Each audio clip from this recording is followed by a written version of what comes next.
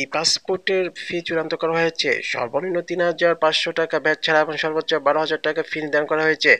আবেদনের ক্ষেত্রে কোনো প্রত্যয়ন প্রয়োজন হবে না। সাম্প্রতিক স্বরাষ্ট্র মন্ত্রণালয় সুরক্ষা, সেবা বিভাগে এই সংক্রান্ত একটি পরিপত্র জারি করেছে। তবে ফি চূড়ান্ত হলেই পাসপোর্ট কবে চালু হবে সে তারিখ এখনও ঘোষণা করা হয়নি।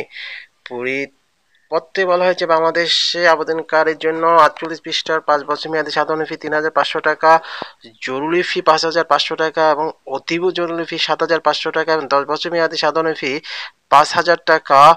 জরুরি ফি সাত হাজার টাকা এবং অতি জরুরি ফি নয় হাজার টাকা। এছাড়া বাংলাদেশে আবেদনকারীর জন্য চৌষট্টি পৃষ্ঠার পাঁচ বছর মেয়াদী সাধারণ ফি পাঁচ হাজার পাঁচশো টাকা, জরুরি ফি সাত হাজার পাঁচশো টাকা এবং অতি জরুরি ফি দশ হাজার পাঁচশো টাকা এবং দশ বছর মেয়াদী সাধারণ ফি সাত সাত হাজার টাকা।